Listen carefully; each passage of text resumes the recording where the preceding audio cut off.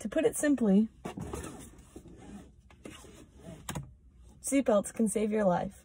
The following video will discuss a couple facts and statistics as to why wearing a seatbelt on the roads is always the safest option. When you get into a car, you're putting your life at risk.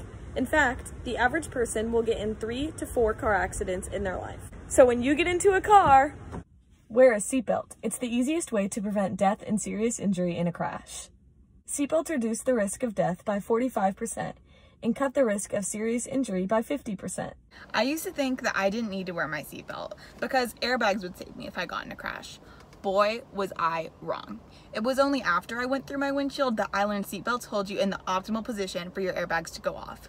If you don't wear a seatbelt, you can slide under the airbag and hit the dashboard or the windshield, or you can even be ejected from your seat, like I was.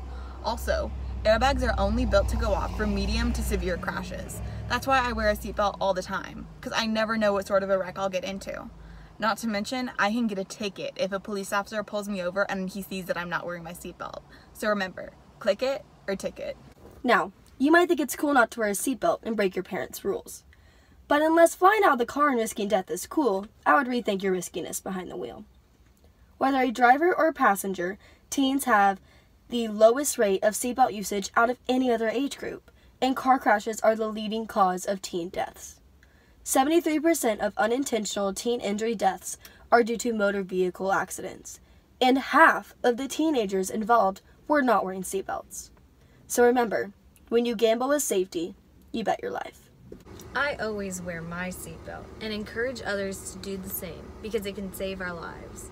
Do you know a crash at 25 miles per hour can feel like falling out of a two story building when you're not wearing a seatbelt? Could you imagine if you were going faster?